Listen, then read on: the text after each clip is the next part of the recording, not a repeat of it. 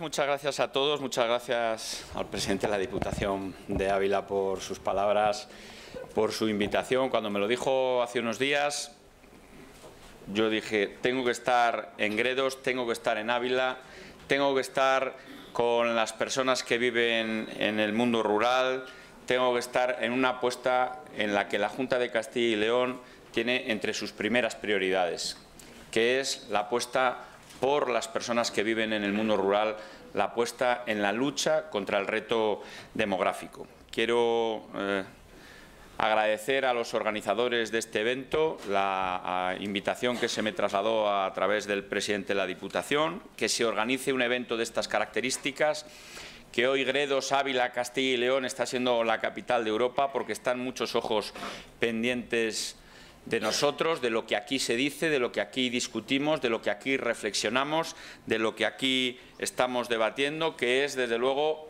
algo especialmente importante, no solo para Castilla y León, ni siquiera para España, sino para la sociedad eh, desarrollada, que es el reto demográfico. Es uno de los principales problemas que tenemos en los países desarrollados, que tenemos en la Unión Europea y en el mundo.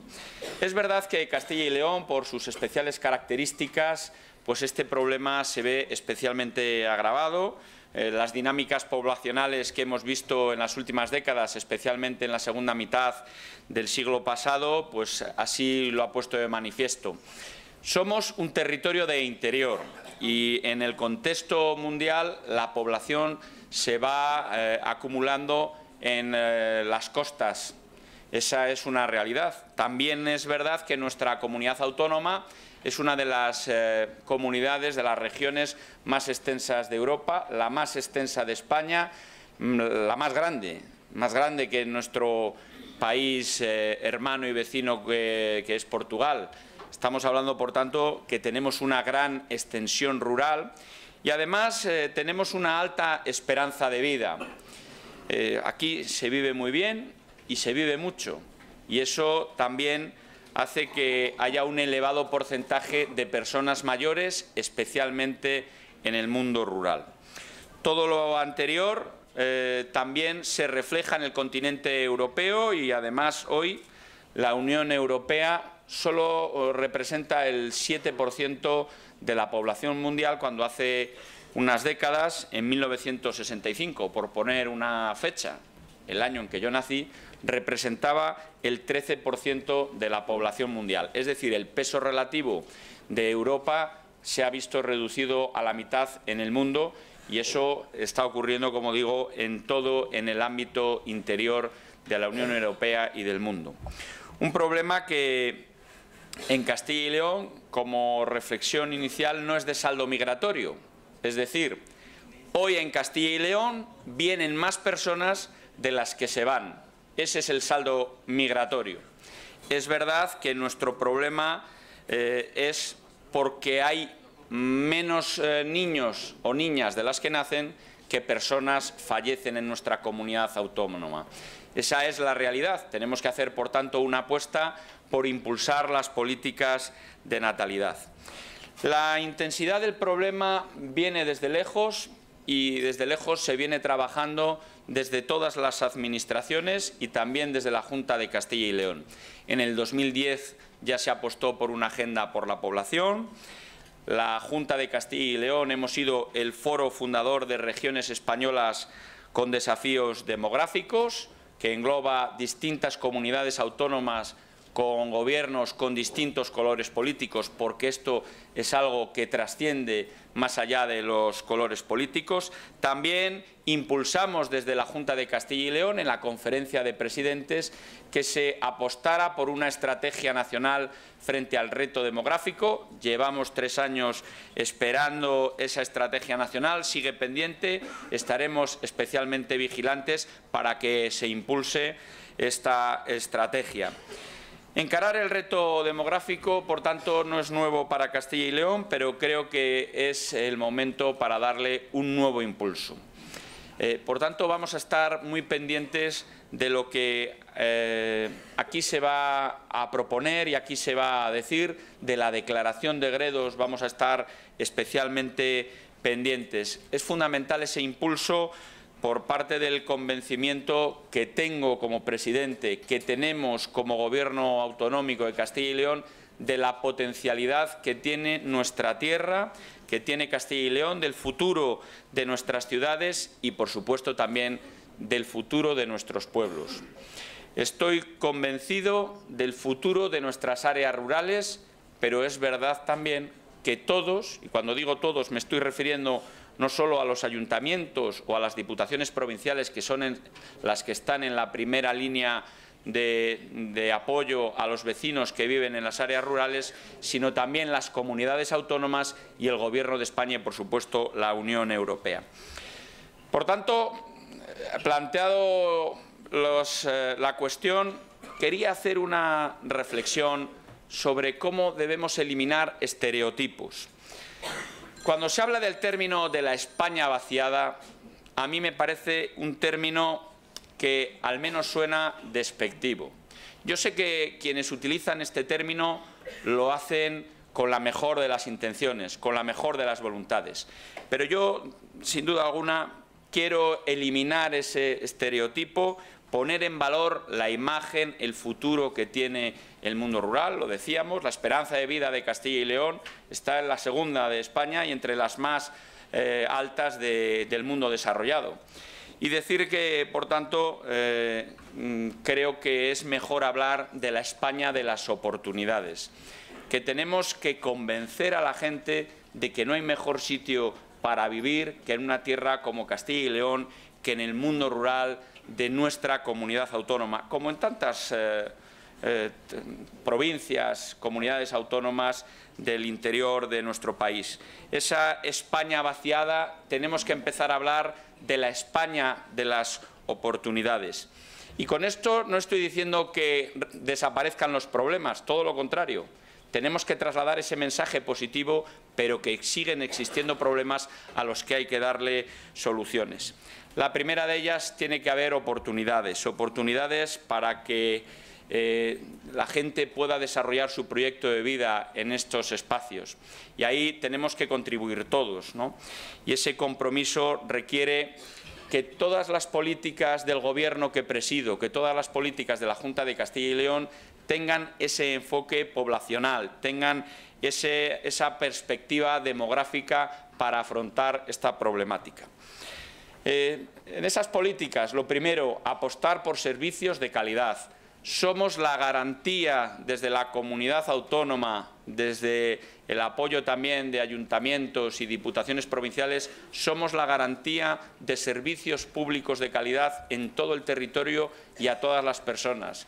Si hablamos de sanidad, somos garantía en el ámbito urbano, pero también en el ámbito rural.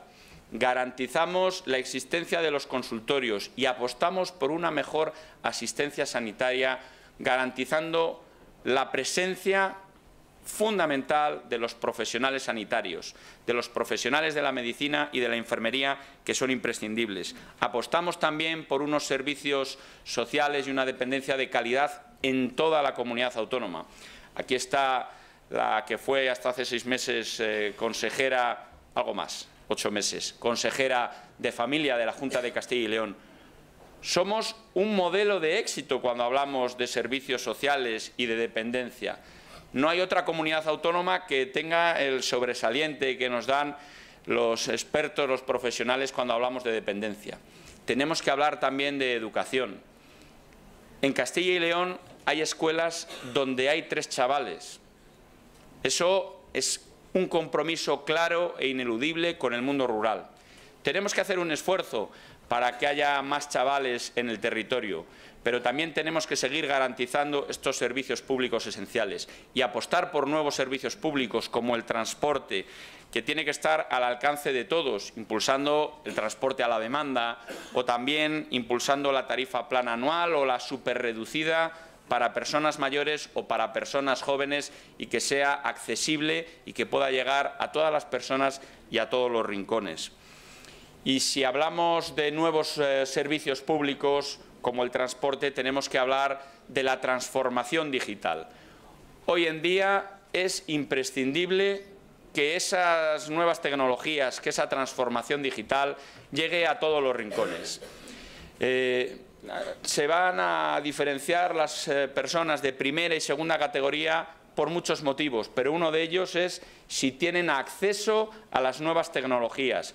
Y no solo que las nuevas tecnologías lleguen a todos los rincones para que las empresas se puedan instalar o las que ya existen puedan competir, para que haya una calidad de vida y que eh, el ocio permita instalarse nuevas familias en el mundo rural. Es imprescindible, por tanto, esa transformación digital para que haya empleo de calidad, el teletrabajo en el mundo rural, imprescindible, y también facilitando el acceso a la vivienda o poniendo en marcha políticas de conciliación de la vida personal, familiar y laboral, impulsando programas y políticas de impulso a la natalidad que me parece especialmente relevante e importante. Hemos puesto en marcha, lo anuncié en un pueblo relativamente cerca, en la provincia de al lado, en, Segovia, eh, me parece importante decir que eh, junto a las bonificaciones fiscales que reciben las familias para apoyo en el pago de las guarderías, también vamos a impulsar una nueva línea de ayudas para aquellas familias que no recibían esas bonificaciones fiscales. Esas subvenciones, esas ayudas para que puedan pagar sus gastos de guardería me parecen fundamentales para la conciliación de la vida personal, familiar y laboral.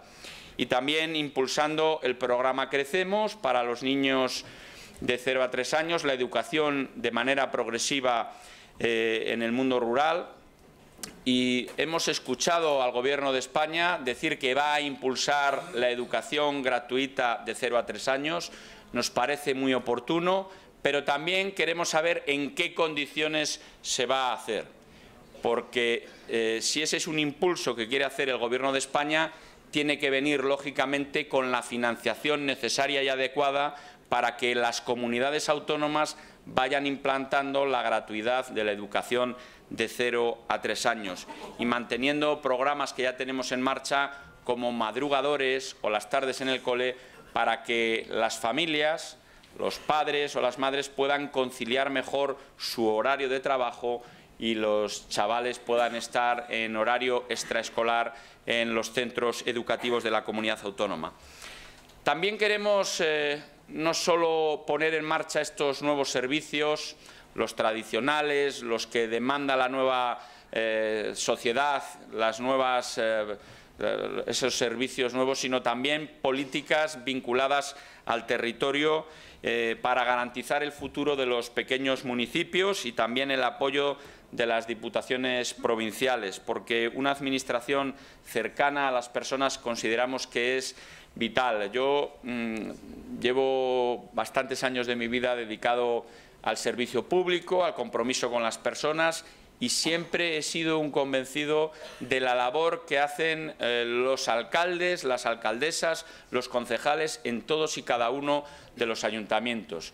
Con legítimo orgullo decimos que en Castilla y León somos la comunidad autónoma que tiene más ayuntamientos de España, 2.248 ayuntamientos, donde la inmensa mayoría de las alcaldesas y de los concejales lo que están haciendo es una labor profesional, es una dedicación al servicio de su gente y además lo hacen en muchos casos de manera altruista y generosa. Y hay que hacer un reconocimiento a esa labor de esas miles y miles de personas, de todas las fuerzas políticas, porque aquí no hay colores, ese compromiso con las personas que viven en el mundo rural, sin las alcaldesas y sin los alcaldes del mundo rural, sin los concejales, sin la labor de apoyo que hacen las diputaciones provinciales, sería muy complicado. Por tanto, un agradecimiento, veo aquí a muchas alcaldesas, alcaldes y concejales, un reconocimiento especial. Pero esas políticas en el territorio también tienen que hacerse en, en una apuesta con una fiscalidad inteligente y moderada.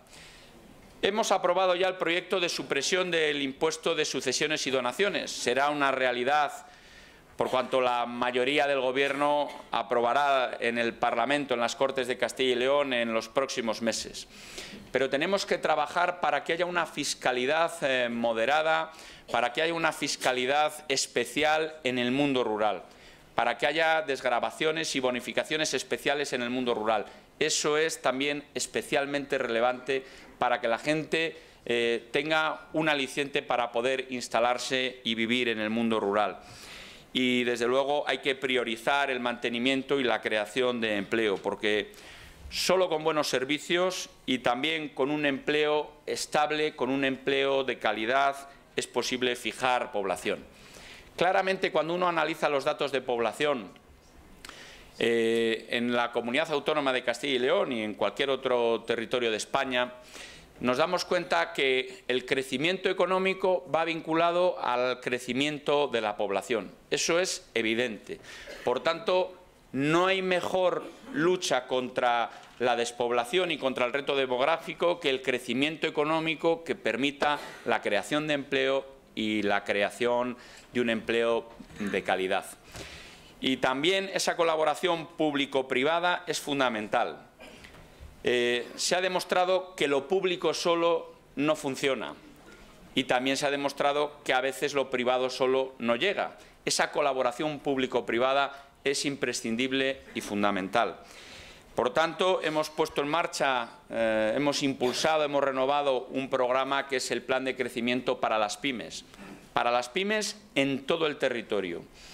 Eso permite, ha permitido en los últimos 18 meses la creación de 43 eh, proyectos empresariales, el crecimiento de 4.000 eh, nuevos empleos y también eh, la garantía de muchos puestos de trabajo.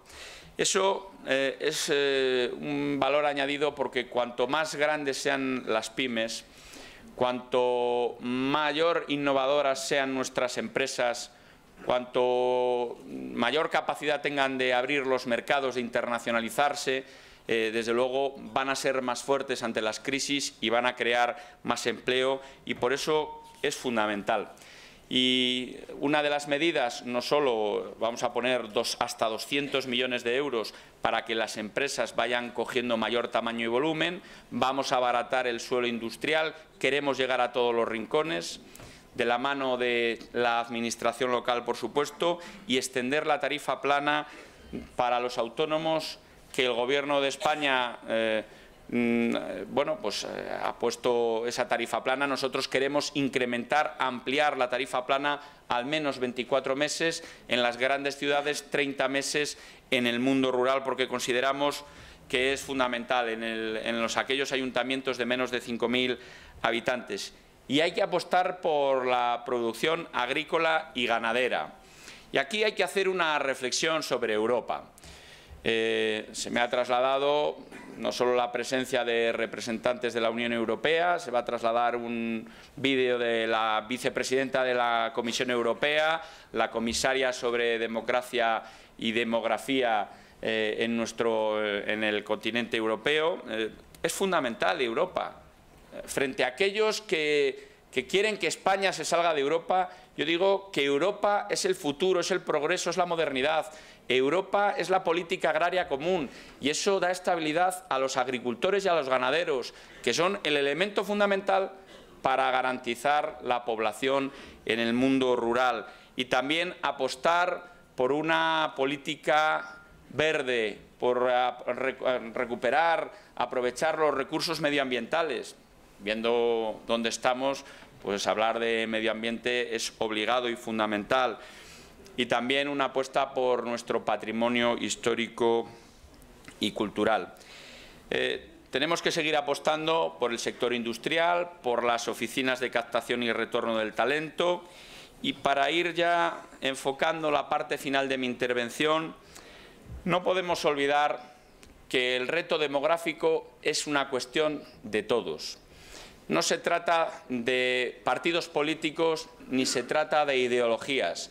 No se trata de unas administraciones frente a otras, todo lo contrario. Yo lo que vengo aquí es a trasladar un mensaje de diálogo, de participación, de colaboración de todas las administraciones. La administración local, la administración autonómica, el Gobierno de España y la Unión, eh, las instituciones de la Unión Europea. Pero también tenemos que trabajar codo con codo las administraciones públicas y el sector privado, en esa colaboración público-privada de la que hablaba antes. Es fundamental y, desde luego, es fundamental la presencia de tantas diputaciones provinciales y de tantos ayuntamientos, pero también es fundamental la presencia y la participación de la Unión Europea. Eh, yo creo que en el marco financiero de la Unión Europea, que es el, el 21-27, es fundamental que el reto demográfico disponga de recursos específicos e independientes y que haya, por tanto, una nueva línea de financiación.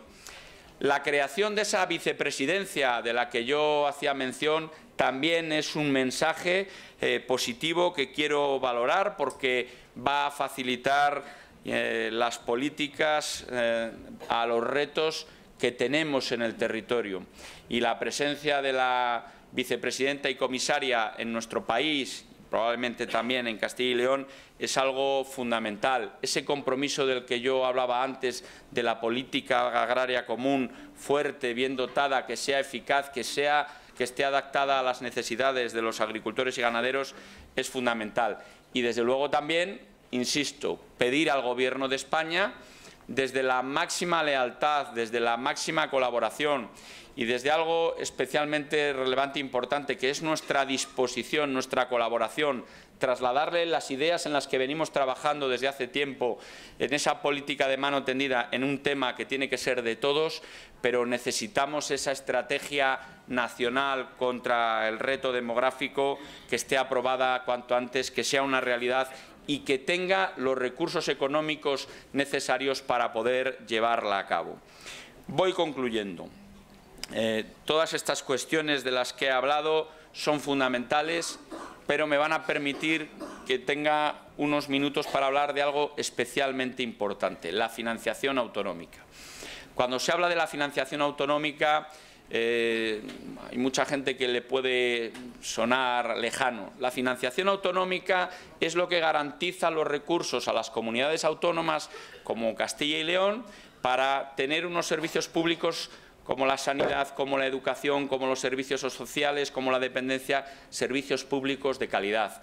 Eso es lo que garantiza que desde una comunidad autónoma como Castilla y León podamos lucir con legítimo orgullo que estamos haciendo bien las cosas y podamos decir que el modelo autonómico ha sido un modelo de éxito, uno de los ejemplos de éxito de la Constitución española que se fraguó precisamente en este mismo escenario que este parador de Gredos es parte de la historia reciente de nuestro país, porque aquí se reunieron los padres de la Constitución para elaborar la ponencia constitucional. Pues bien, aquí se fragó la España de las autonomías y aquí, en Gredos, yo quiero insistir que la España de las autonomías, que Castilla y León es un ejemplo del éxito de lo que es hacer bien las cosas en una comunidad autónoma.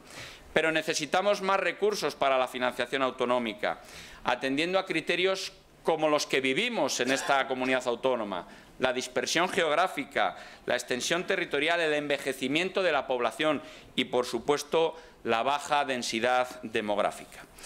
Bien, dicho todo esto, insistir en que llevamos muchos años trabajando, que vamos a seguir trabajando codo con codo para que esto sea un tema no solo de comunidad, que sea un tema de toda España, que sea un tema fundamental, clave, vital, crucial en toda la Unión Europea.